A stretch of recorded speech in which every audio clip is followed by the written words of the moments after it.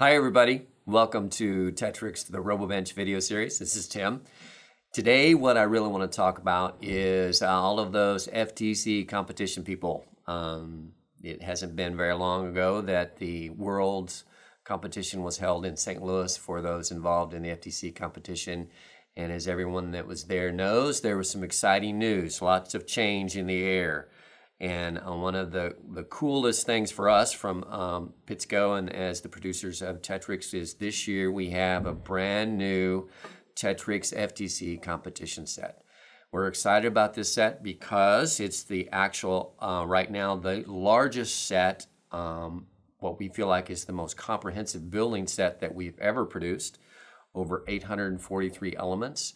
Um, we think um, it's going to be one of the most uh, useful building sets. We did this set with actual input from uh, FTC teams. They provided input to US First, who then passed that along to us.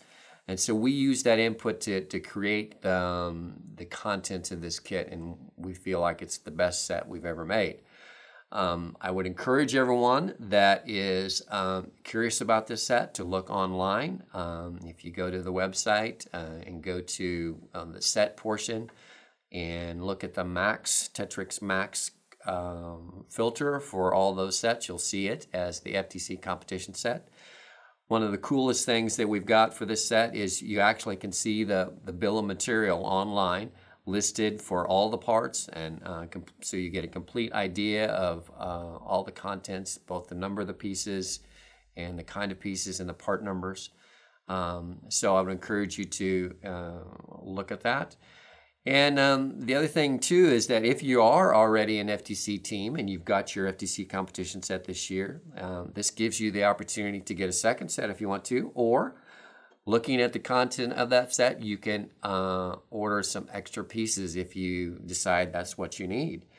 Um, one of the cool things is that for those t- uh, registered FTC teams, um, we are offering a discount uh, for those that need uh, extra parts. Everybody has their own design um, process and, and idea for the challenge every year. So um, it's impossible for us to create the perfect kit for everybody. So those people that want extra pieces, you're you're encouraged to go online.